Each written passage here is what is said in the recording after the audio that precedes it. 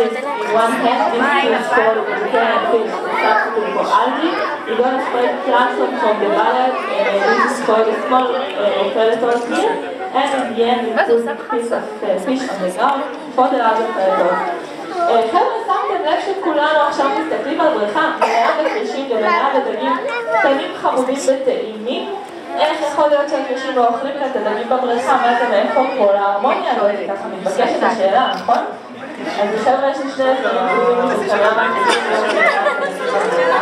והסיבה הראשונה, קודם כל מי שכריש, למרות שהוא דורס על בים, הוא לא אכלן כזה גדול כמו שבטח הייתם מצפים, הם אוכלים בממוצע פעם בשבוע, מקסימום פעמיים בעשרה ימים.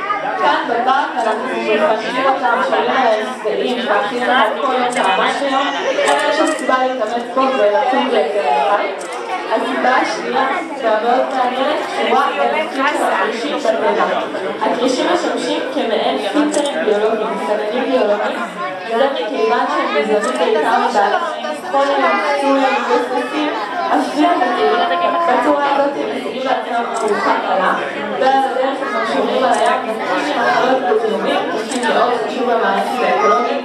כאן, כמו שאתם רואים, כל הדגים במרכז חיובי מלא, ולכן אין סיבה אותם על דף כזה לא מתעוררת להם, לא ידעו פנים. I'm sure most of you are wondering